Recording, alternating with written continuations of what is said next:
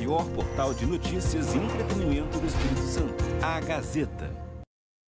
Bom dia, Espírito Santo. Oferecimento Cafuso Solúvel, tradicional e extra forte. Terceiro e quarto melhores solúveis do Brasil. Unimed Vitória. Aqui tem cuidado. E empréstimo Agora Crédito Financeira. O melhor remédio para sua dor no bolso.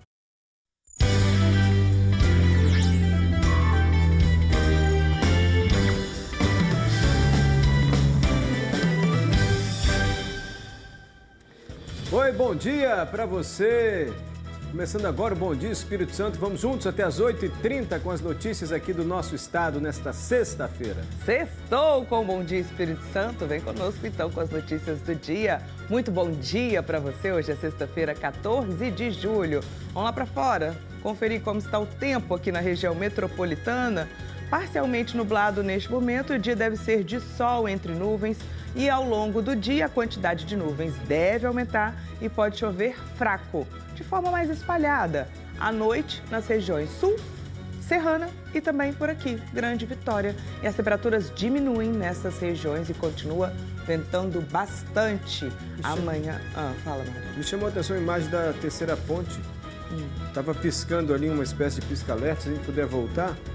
No meio da ponte, tá vendo? Não sei se é devido à obra. Deve ser o pessoal da obra.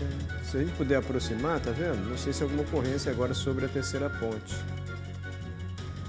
Olha aí, a gente vai se aproximando. Não sei se é sinalização da obra ou algum. É, acho que é a obra mesmo da terceira ponte. É porque né? eles vão trabalhando durante a noite, Ou é depois uma vão passando e liberando os cones, né? Bom, a gente vai checar. É isso? Pode ser liberando os Não, cones? geralmente é, no, no inicinho da manhã assim eles vão liberando, vão passando e vão retirando.